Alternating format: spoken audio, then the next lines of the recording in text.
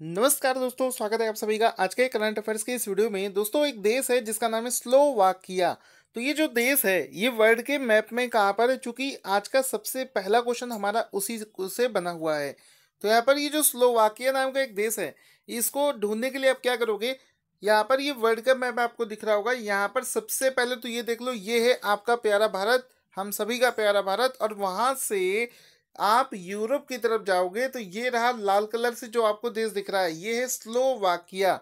तो यहाँ पर हो सकता है आपका एग्जैक्ट लोकेशन आपको ना पता, ना याद रख पाओ, लेकिन कम से कम इतना याद रख लो कि ये लोकेशन इसकी किस तरफ़ है।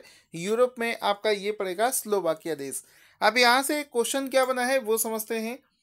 क्वेश्चन ये बना है कि निम्नलिखित में से कौन हाल ही में स्लोवाकिया की पहली महिला राष्ट्रपति बनी है। तो यहाँ पर ये जो स्लोवाकिया की पहली महिला राष्ट्रपति बनी है, उनका नाम है जुजाना कैपुतोवा। नाम याद रख लेना, जुजाना कैपुतोवा इनका नाम है, जिनको हाल ही में स्लोवाकिया की पहली महिला प्रेसिडेंट बनाया गया है। चूँकि यहाँ पर देखो, वैसे तो ये क्वेश्चन इम्पोर्टेंट इस वजह से है, क्योंकि यहाँ पर किसी महिला को सबसे पहली बार प्रेसिडेंट बनाया गया है। ठीक है तो आई होप आपको याद हो गया होगा। नाम एक बार फिर से देख लो, मैं लिख के भी दिखा देता हूँ सो so दैट आपको लंबे समय तक याद रहे। जुजाना, ठीक है? दूसरा ये, कैपुतोवा ना याद रखिए, केवल जुजाना याद रखिए जुजाना को स्लोवाकिया की पहली महिला राष्ट्रपति के रूप में अपॉइंट किया गया है। यहाँ पर जुजाना जी का आपको फ़ोटो भी दिखा देते हैं। इनको ही यहाँ पर स्लोवाकिया में पहली प्रेसिडेंट के रूप में महिला प्रेसिडेंट के रूप में अपॉइंट किया गया है। और ये पहले से पेशे से एक सोशल वर्कर थी जो कि अब इस पोजीशन पर पहुँच गई हैं। अब यहाँ पर आपको स्लोवाकिया मैंने दिखा भी दिया है। दो चीज़ें और समझ लो। स्लोवाकिया की जो कैपिटल है, वो है ब्रास ब्रास्तिस लावा ब्रास्तिस लावा यहाँ की कैपिटल हो जाएगी। और यहाँ पर इसकी जो मुद्रा है, वो है यूरो। ठीक है? आगे चलते हैं मोस्ट इंपॉर्टेंट क्वेश्चन की तरफ़, उससे पहले बता दूँ, अगर आपको वीडियो थोड़ा सा भी अच्छा लगता हो तो जितने भी आपके दोस्त हैं व्हाट्सएप ट्विटर फेसबुक टेलीग्राम हर जगह वीडियो को शेयर करना आप और हम सभी लोगों की ज़िम्मेदारी है, ठीक है?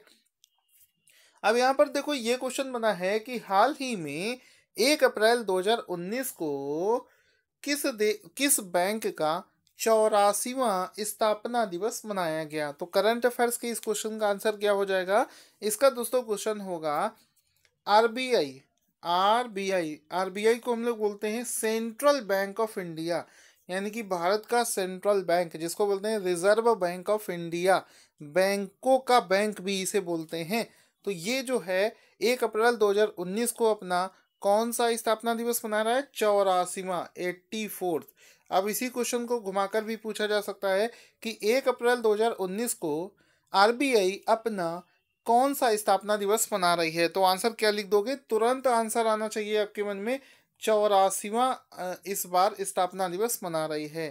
तो यहाँ पर आपको आरबीआई का फ़ोटो देख लो तो आपको और अच्छे से क्लियर हो जाएगा।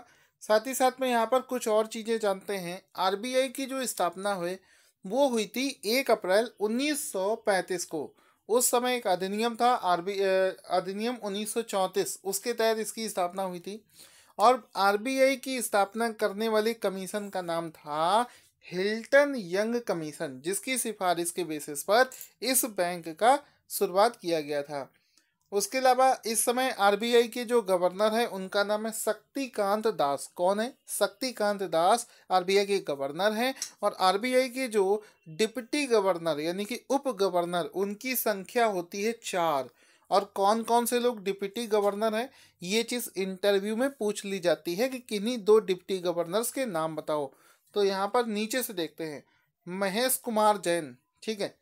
BP Kanungo doctor Viral V Acharya और डॉक्टर एन एस विश्वनाथन। ये चार डिप्टी गवर्नर है। एक बार इसको मन में अपने दोहराकर याद कर लेना। यहीं के यहीं पर बात के लिए मत रखा करो। जो करना है आज करो। कल के लिए कुछ मत रखो। आगे चलते हैं अगले क्वेश्चन की तरफ़। इसके अलावा एक चीज़ और यहाँ पर लिखी है कि मनमोहन सिंह जो है, वो एकमात्र ऐसे प्रधानमंत्री हैं, जिन्होंने आरबीआई के गवर्नर के रूप में भी कार्य किया है। तो करंट यहाँ पर अप्रैल के अगले क्वेश्चन में चलते हैं। अप्रैल करंट अफेयर शुरू हो गया है। अब आप डेली बेसिस पर एक आदत बनाओगे कि आपका कुछ पूरे दिन में पढ़ाई हो ना हो। मॉर्निंग में सुबह पाँच बजे उठकर आपको करंट अफेयर्स का ये वीडियो हर हाल में देखना ही है। तो यहाँ पर देखो, करंट अफेयर्स का अगला क्वेश्चन क्या बना है? करंट अफेयर्स 2019 का अगला क्वेश्चन है कि हाल ही में मियामी ओपन में, एक इवेंट हुआ था मियामी ओपन में फाइनल मुकाबले में किसने जॉन इसनर को हराकर खिताब जीत लिया है? तो यहाँ पर जॉन इसनर को हराकर मियामी ओपन जीतने वाले खिलाड़ी का नाम है रॉजर फेडरर। ऑप्शन डी यहाँ पर बिल्कुल सही हो जाएगा। रॉजर फेडरर जो हैं, उन्होंने मियामी ओपन को जीत लिया है। अब ये रॉजर फेडरर अभी रिसेंट में न्यूज़ में थे, आपको याद होगा। मैंने क्वेश्चन करवाया था क्वेश्चन ये था कि अभी एक रिसेंट में रोजर फेडरर ने एक रिकॉर्ड बनाया था कि सौ हंड्रेड सिंगल्स के खिताब जीतने वाले खिलाड़ी का नाम तो रोजर फेडरर उसका भी आंसर था। अब चूँकि सौ उस समय जीत चुके थे, एक और जीत लिया तो एक सौ एकवा खिताब इनका सिंगल्स का हो गया। तो ये किसने जीता है? रोजर फेडरर ने। ठीक है तो यहाँ पर करंट अफेयर्स 2019 के अगले क्वेश्चन में हाल ही में किस इंटरनेशनल संगठन ने mind the gap, state of employment नामक रिपोर्ट जारी करी है? रिपोर्ट का नाम देखना। Mind the gap, state of employment नामक एक रिपोर्ट जो है, इसको ऑक्समैन नाम के ऑर्गेनाइजेशन ने लॉन्च किया है। किसने किया है? ऑक्समैन, इसका राइट आंसर हो जाएगा। इस रिपोर्ट में ये कहा गया है कि जो भारतीय श्रम बाज़ार है उसमें गुणवत्ता युक्त नौकरी की कमी है, यानी कि अच्छी नौकरियों की उपलब्धता ज़्यादा नहीं है। साथ ही साथ में मजदूरी दर जो होती है, में उसमें असमानता जो है वो बहुत ही आम बात है, यानी कि ज़्यादा काम करवा लिया जाएगा और पैसा कम दिया जाएगा। या फिर ज़्यादा जैसे बहुत सारे बच्चे ज़्यादा क्वालिफिकेशन रखते हैं, लेकिन उनकी नौकरियाँ जो है वो छोटी लगती हैं। तो ये जो असमानता है, इस रिपोर्ट में ये चीज़ें सामने आई हैं। हालाँकि हम लोग तो ये चीज़ बहुत पहले से ही जानते हैं। इसके अलावा दोस्तों, आप लोगों से रिक्वेस्ट है कि डेली बेसिस पर ये जो करंट अफेयर्स का पीडीएफ है, इसको भी डाउनलोड कर लिया करो वीडियो के डिस्क्रिप्शन से, या फिर मेरे टेलीग्राम चैनल जिसका नाम है टारगेट स्टडी है, कि वहाँ पर ज्वाइन हो जाओगे तो आपको डेली बेसिस का पीडीएफ वहाँ पर मिल जाएगा। निम्नलिखित में से किस देश ने हाल ही में Sultan Azlan Shah Cup tournament जीत लिया है? तो वैसे तो भारत इसमें लगभग हर बार जीत लेता है और इस बार भी भारत फाइनल तक पहुँचा था, लेकिन बहुत दुख के साथ ये कहना पड़ रहा है कि भारत इसमें नहीं जीत पाया है। दक्षिण कोरिया इसमें जीत गया है। ठीक है तो ये जो फाइनल मुकाबला है, ये भारत और दक्षिण कोरिया के बीच में हुआ था, लेकिन सुल्तान अजलान शाह कप जो है, वो दक्षिण कोरिया ने जीत लिया है। और इसके पीछे भी बड़ी अजीब सी कहानी है मतलब भारत और दक्षिण कोरिया बराबरी पर चल रहे थे, लेकिन यहाँ पर पेनाल्टी शूट आउट में भारत को चार ज़ीरो से पराजित कर दिया दक्षिण कोरिया ने। हालाँकि अगर बात करी जाए टोटल कितने बार भारत इसको जीत चुका है तो अजलान शाह कप जो है भारत पाँच बार अब तक इसको जीत चुका है। कभी कभी एक क्वेश्चन एसएससी में पूछ लिया जाता है, या रेलवे में भी पूछा जा सकता है, कि जो अजलान शाह कप है, ये किस खेल से संबंधित है? तो ये हॉकी से संबंधित है तो ऑप्शन देखकर हॉकी पर टिक कर देना। यहाँ पर आपको फाइनल मुकाबले की एक फ़ोटो भी आपको दिखा देते हैं, ठीक है? आगे चलते हैं। दिल्ली सरकार की किस टीचर को हाल ही में मार्था फेलर पुरस्कार से सम्मानित किया गया है? तो यहाँ पर ये जो मार्था फेलर पुरस्कार है, ये दिया गया है। एक टीचर है जिनका नाम है मनु गुलाटी। मनु गुलाटी को दिया गया है। और क्यों दिया गया है? ये जो मार्था फेलर पुरस्कार है, ये दिया गया है उनके जो महिला सशक्तिकरण को लेकर उन्होंने काम किया है या फिर लैंगिक समानता को लेकर उन्होंने काम किया है, उसको देखते हुए ये डेढ़ लाख रुपए की जो पुरस्कार राशि के साथ में मार्था पुरस्कार से उन्हें सम्मानित किया गया है। करंट अफेयर्स के अगले क्वेश्चन में पाकिस्तान ने निम्नलिखित में से किसे हाल ही में नया विदेश सचिव बनाया है? जब से पुलवामा पर अटैक हुआ है, पाकिस्तान में जितने भी नए अपॉइंटमेंट हो रहे हैं, वो भी जीके के क्वेश्चन बन रहे हैं, इससे पहले नहीं बनते थे। ठीक है तो ये जो नया विदेश सचिव बनाया गया है, वो बनाया गया है सोहेल महमूद को। ऑप्शन सी यहाँ पर बिल्कुल सही है और इसमें कुछ जानने की ज़रूरत है नहीं। सोहेल महमूद, बस नाम आप याद रखिएगा। उम्मीद कम है, लेकिन अगर कहीं पूछा जाए तो आप इसको सही कर दोगे। हाल ही में देना बैंक, विजया बैंक का किस बैंक में विलय हुआ है? बहुत दिनों से ये चीज़ चल रही है, अब तक तो याद हो जाना चाहिए था कि देना बैंक और विजया बैंक है। इन दोनों को बैंक ऑफ़ बड़ौदा में मर्ज कर दिया गया है, ठीक है? यानी कि अब ये दोनों बैंक खत्म हो जाएँगे और ये दोनों मिलकर बन जाएँगे बैंक ऑफ़ बड़ौदा।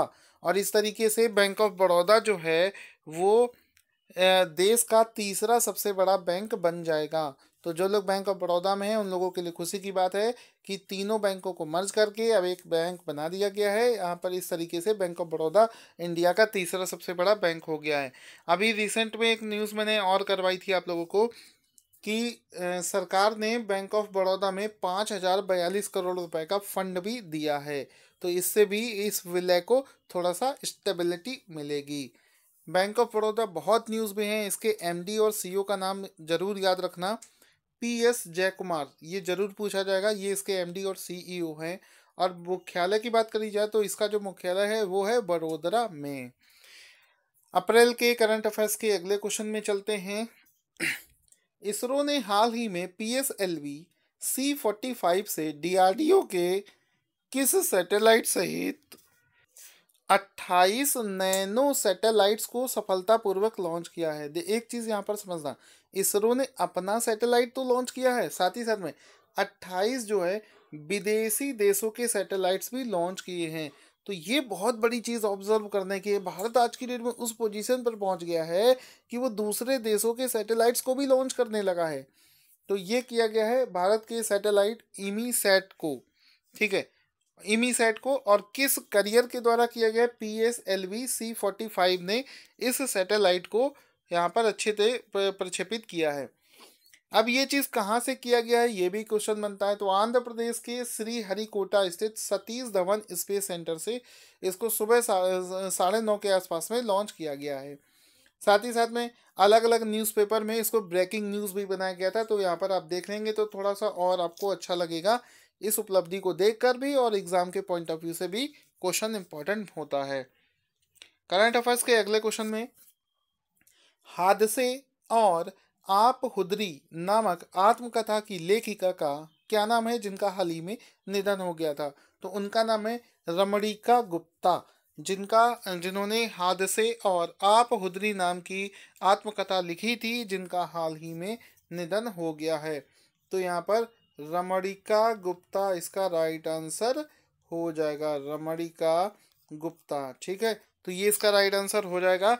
इसी तरीके से अप्रैल के करंट अफेयर्स को डेली बेसिस पर आप पढ़ते रहेंगे। आप जल्दी से क्विज के आंसर भी दे दीजिए। हाल ही में सबसे ज़्यादा फोर अवेलेबिलिटी रिपोर्ट में किस शहर का नाम नंबर वन पर आया है? भारत की एक shipyard company G R S E कितने युद्ध पोतों के निर्माण के साथ भारत की पहली शिपयार्ड कंपनी बन गई है? मलेरिया जैसे घातक रोगों का पता लगाने के लिए आर्टिफिशियल इंटेलिजेंस का यूज़ करके किस आईआईटी ने एक नया डिवाइस बनाया है? तीनों क्वेश्चंस का आंसर जल्दी से दे देना। अप्रैल महीने से एक आदत सी बना लो कि डेली आपको मॉर्निंग में पाँच बजे उठकर करंट अफेयर्स का ये वीडियो देखना ही है।